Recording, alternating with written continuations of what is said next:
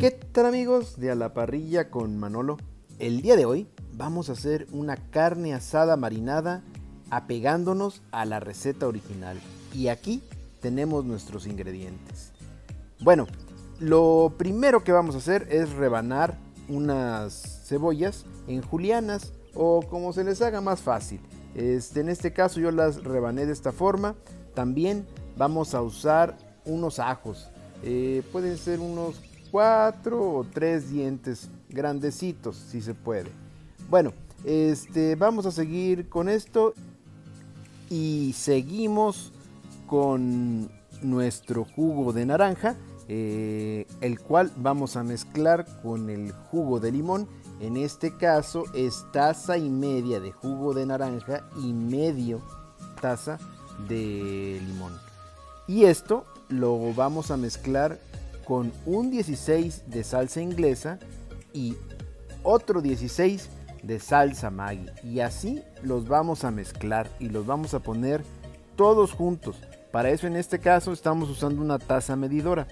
En caso de que no la tengas, lo puedes hacer en cualquier vaso, simplemente es al tanteo. Ahora, estas cantidades que te estoy dando es para 2 kilos de carne. Puede ser bistec, puede ser diezmillo, puede ser chirlón, puede ser incluso arrachera, la carne que más se te haga fácil conseguir o que tengas al alcance. Bueno, aquí estamos mezclando el contenido de la taza y ya tenemos eh, nuestra carne preparada. Aquí vamos a ver que tenemos 2 kilos de diezmillo en este caso, los cuales vamos a poner en dos bolsas Ziploc y las vamos a dividir en un kilo y un kilo, a las cuales vamos a poner la mitad de la taza a una y la otra mitad a la otra. Aparte, vamos a usar sal y pimienta al gusto. Bueno, vamos a proceder con, con esto. Vamos a pasar la carne a las bolsas y una vez que ya las tenemos sazonadas vamos a vertir tenemos de, de líquido en la taza recuerden media y media. Y una vez que ya tenemos esto vamos a seguir con la cebolla y los ajos también rebanados. Una vez que ya tenemos esto vamos a llevar esta carne o las bolsas con la carne las vamos a llevar a un refrigerador para que se marinen de perdido, de perdido unas dos horas antes de que vayamos a nuestro asado.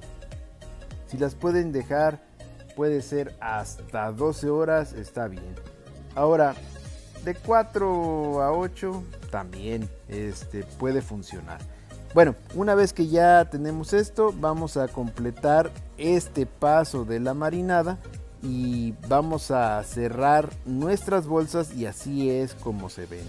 Vamos a repartir un poquito de lo que son las cebollas, también estamos usando cilantro, el ajo y la parte de la marinada, la parte líquida. Esto lo vamos a llevar al refrigerador, este, no lo vayan a dejar afuera por favor, nada más este, se acomoda y ahí después cuando vayamos a la carne o estemos empezando nuestro asado, vamos a tomarlas y las podemos llevar o colocar en otro recipiente. También en este caso, cuando estemos en el asador, vamos a usar un poco de cerveza. Y una vez que ya estamos listos, que ya está marinada, nos pasamos al asador. Y aquí ya la tenemos. En este caso, este, puse toda la carne en un recipiente, luego también utilicé la marinada para que no se reseque la carne y bueno, listo, al asador. Recuerden, 300, 350 grados centígrados para que la carne se selle bien. Eh, en este caso es un poquito gruesa la, carne, pero podemos usar este, la carne de tan gruesa o tan delgada como ustedes quieran. Entonces, bueno, ya ponemos nuestra carne y obvio una vez que ya esté listo aquí vamos a entrar en cuestión de términos hay quien le gusta término medio término tres cuartos bien cocida, como ustedes quieran. Este, en este caso voy a perseguir un 3 cuartos, como usualmente lo hacemos en nuestro canal. Bueno, eh, aquí ya estamos con la carne, más o menos la vamos a dejar como unos 3 o 4 minutos por lado. En este caso que es un grosor, pues llamémosle intermedio, de un poquito menos de, de media pulgada. Este, y así vamos avanzando y una vez que ya la tenemos lista, recuerden, siempre dejen su carne reposar al menos unos 5 minutos antes de partirla. Y ya que la tenemos lista, pues bueno, aquí la estamos rebanando para ver cómo se ve. Este, poco a poco vamos avanzando en nuestro corte y aquí lo vamos a enseñar. Como les dije, 3 cuartos. Y como toda buena carne asada tradicional, pues esta va un taquito, ¿verdad?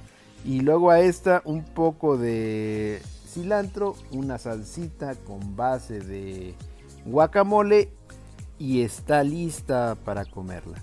Bueno amigos, aquí llegamos al final de nuestro video. Como siempre les pido, dejen sus comentarios en la parte de abajo, cualquier sugerencia igualmente en la caja de comentarios. Bueno, y como siempre les deseo, buen provecho.